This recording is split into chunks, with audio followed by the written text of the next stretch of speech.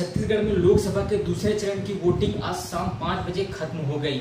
लोकतंत्र के इस महापर्व में आज एक बार फिर नक्सलियों ने मतदान को प्रभावित करने, राजनांदगांव के मानपुर मोहल्ला क्षेत्र में आईडी ब्लास्ट कर दहशत फैलाने की कोशिश की।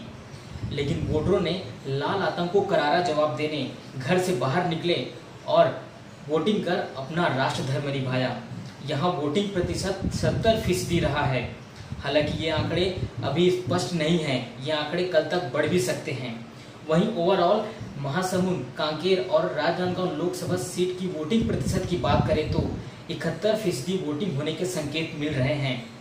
लोकतंत्र के इस महापर्व में सबसे खास यह रहा कि कंवर्धा ज़िले के सासपुर लोहारा में 108 साल की महिला ने मतदान किया। व्हील चेयर की सहायता से पहुँची महिला ने वोटिंग कर लोगों से मतदान करने की अपील की। इधर महासमुंद में भी पैंसठ साल की महिला ने गजब का साहस दिखाते हुए वोटिंग की। छत्तीसगढ़ के महासमुंद, कांकेर और राजनांदगांव लोकसभा सीट के 36 उम्मीदवारों के भविष्य का फैसला आज ईवीएम में कैद हो गया।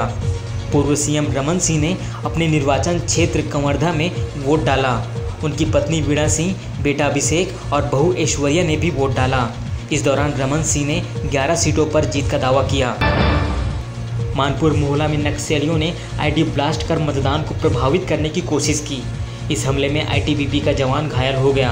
बावजूद यहाँ वोटिंग प्रतिशत 70 फ़ीसदी रहा। हालाँकि अभी तक स्पष्ट आंकड़े नहीं आए हैं। लोकतंत्र के इस महापर्व में आज नए वोटरों में ज़बरदस्त उत्साह नज़र आया। मतदान को लेकर दुल्हा दुल्हनों ने वोट देकर मतदाताओं से वोटिंग करने की अपील की। कांकेर के पोलिंग बूथ में एक मतदान कर्मी की हार्ट अटैक आने से मौत हो गई। कांकेर के आमाबेड़ा के तेवड़ा के ग्रामीणों ने चुनाव का बहिष्कार कर दिया। मूलभूत सुविधाओं की मांग कर रहे गाँव वालों ने वोट नहीं दिया। इधर गरियाबंद के आधा दर्जन गाँव के वोटरों ने भी मतदान नहीं किया। कवर्धा के सहसपुर लोहारा में 108 साल की महिला ने मतदान किया। महासमुंद में पैंसठ साल की महिला ने भी गजब का साहस दिखाते हुए मतदान किया।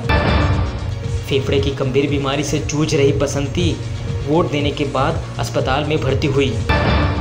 तीन लोकसभा के अति संवेदनशील मतदान केंद्रों में तीन बजे के बाद वोटिंग खत्म हो गई।